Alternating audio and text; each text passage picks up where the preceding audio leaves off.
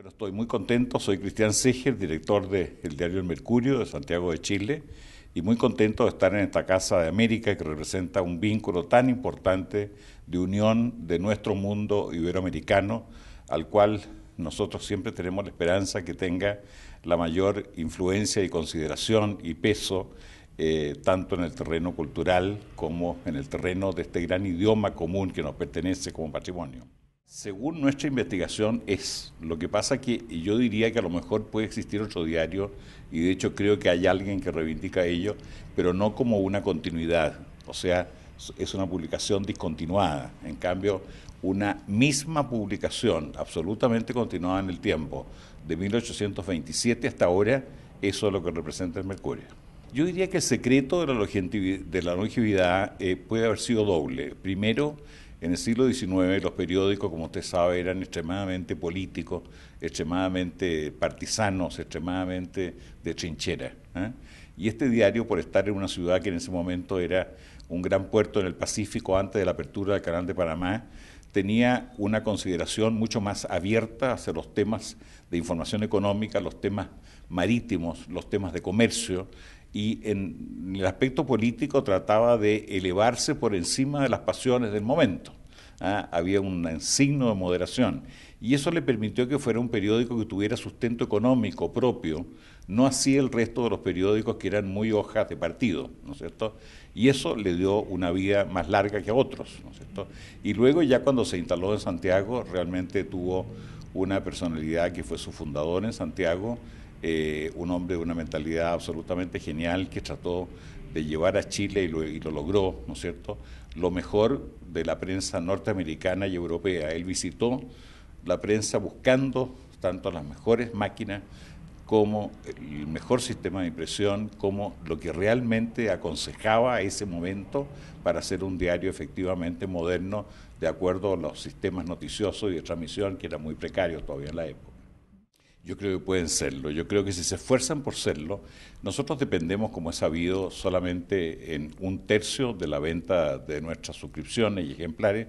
El Mercurio es la primera circulación en Chile, tanto de lunes a domingo, como es un, realmente un, un, éxito, porque estos diarios que son diarios de registro, diarios de calidad, diarios de influencia, normalmente no están a la cabeza de la circulación.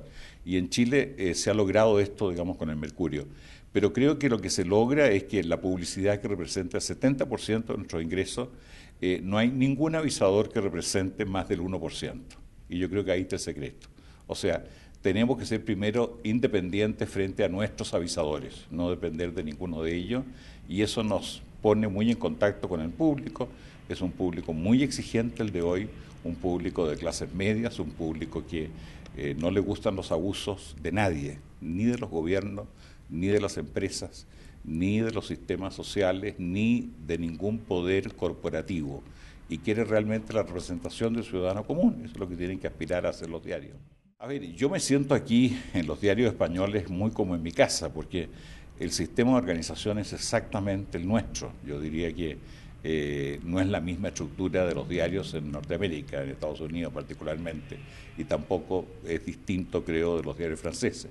En cambio, aquí la estructura, eh, el trabajo en áreas, ¿no es cierto?, la estructura misma de un director responsable de la parte periodística, separado del responsable de la parte económica, todo dependiendo de un editor principal, creo que es el esquema que nosotros tenemos.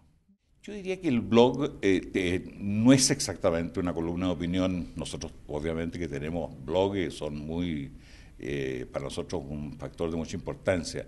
Eh, el blog es alguien que en definitiva tiene una vocación de comunicarse con otros blogueros, pero esa comunidad no es la comunidad masiva, ¿no es cierto? Es una comunidad un tanto reducida, que puede parecer muy importante por la cantidad de gente que participa, pero esa gente tiene la instantaneidad y es gente que mientras está trabajando está emitiendo un blog y participando de una opinión política, económica o social no es una persona que está realmente dedicada a su trabajo, a su actividad, cualquiera esta sea, y se incorpora, ¿no es cierto?, a la vida del periódico, a la vida de leer una información o una columna, ¿no es cierto?, que es para ellos una cosa que tiene un horario distinto en el día.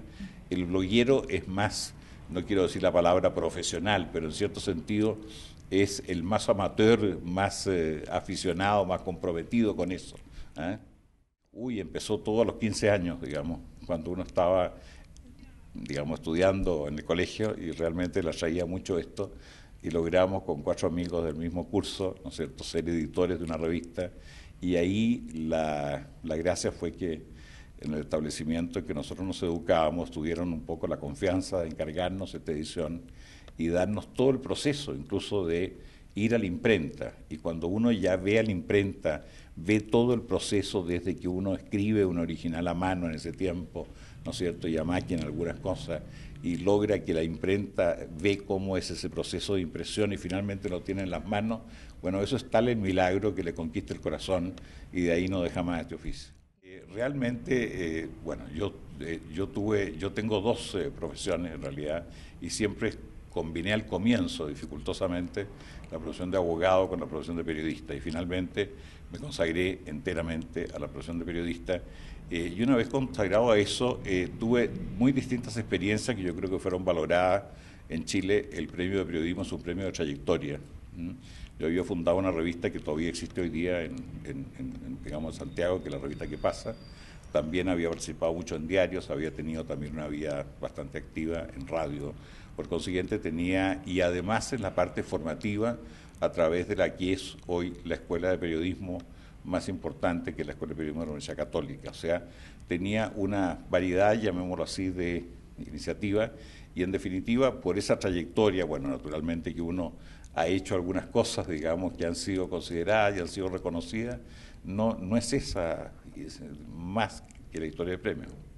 Yo creo que los peligros del periodismo actual son, eh, eh, llamémoslo así, eh, a ver, ¿cómo se lo diría para que no resultara fuerte, digamos?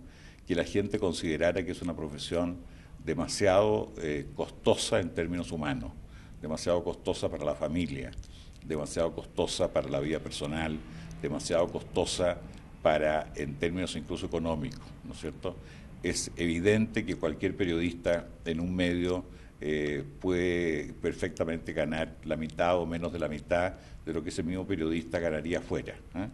O sea, hay que tener una dosis especial de vocación, uno tiene que estar en cierto sentido preso dentro de su actividad, muy motivado y muy entusiasmado para poder seguir, porque de otra manera el peligro de abandonar es muy claro.